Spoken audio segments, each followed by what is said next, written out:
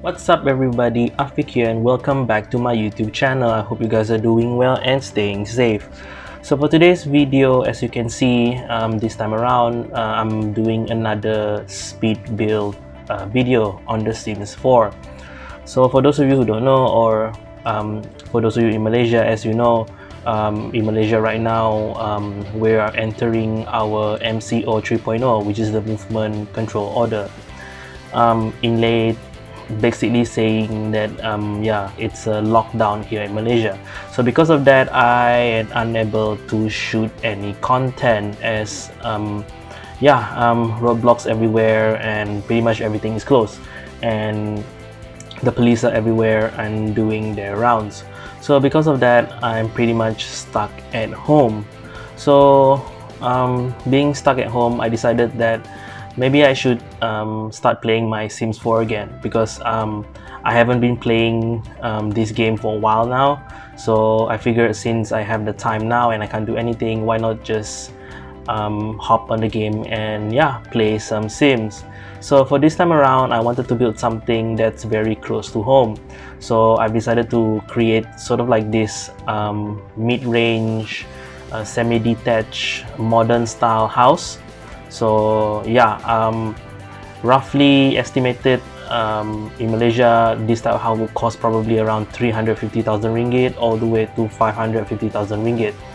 So this type of house uh, typically look um, it's not really common in the city. Like you don't really see this type of uh, house in Kuala Lumpur. It's more on like the suburb area or the smaller cities um, around Malaysia. So yeah so if this uh, uh, semi-detached house um, it is two story. Um, three bedroom three bathroom living room dining room and a kitchen. So yeah um, I had fun actually building this. Um, overall it took me around two and a half hours of building this. Uh, mostly um, it took so much time because I actually don't really have the plan in my head I sort of like just make up the floor plan um, the floor plan just uh, as I go along.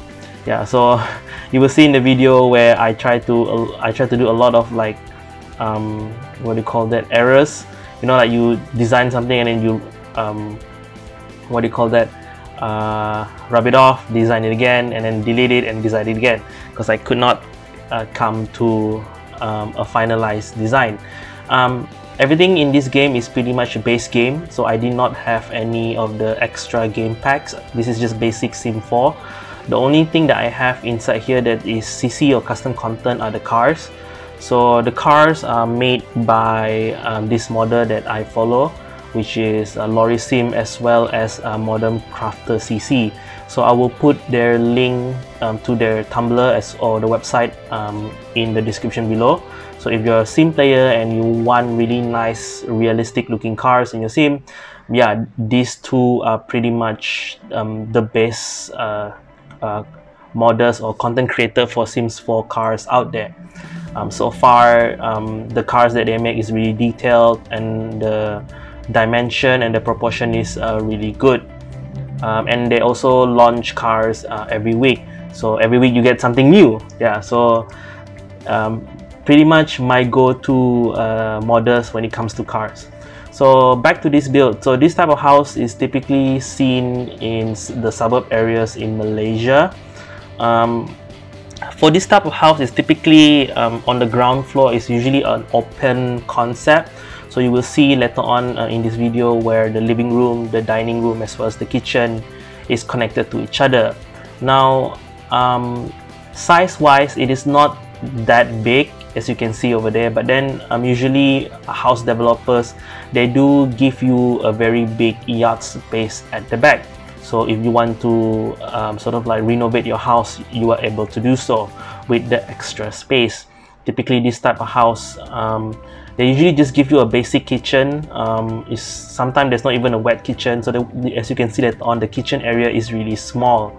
Um, it's typical with this type of house yeah so overall um, uh, yeah overall I'm quite happy with this design as you can see later on also I only furnish one side of the house because as you know with Sims, um, it gets really repetitive.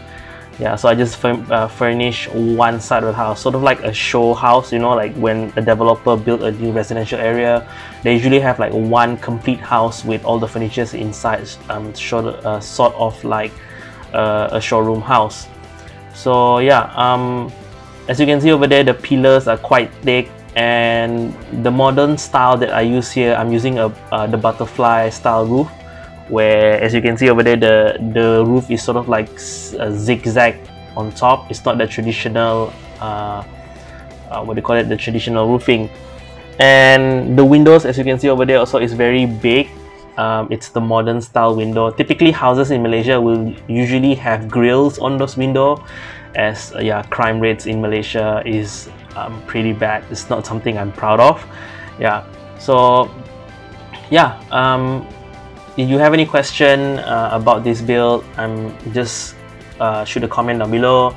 So I might probably um, build more of this since the movement control order in Malaysia is going to be for two weeks so I'm unable to shoot any content outside or um, do my other side business as well.